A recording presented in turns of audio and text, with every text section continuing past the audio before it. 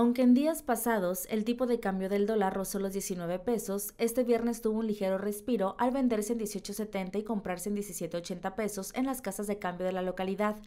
Aunque no fue la euforia de otros años por el Black Friday, sí se apreció gente cambiando pesos por dólares con el fin de alcanzar alguna de las ofertas del Viernes Negro en las tiendas de Laredo. A principios de semana el peso tuvo un desplome considerable, pues se llegó a los 18.90 a la venta y 18.10 a la compra. Con el paso de los días el peso fue ganando terreno y empieza el fin de semana con este ligero descenso en el tipo de cambio.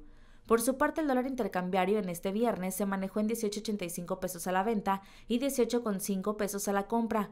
Las tensiones en torno al Telecán han provocado desestabilidad en este peso ante la moneda americana.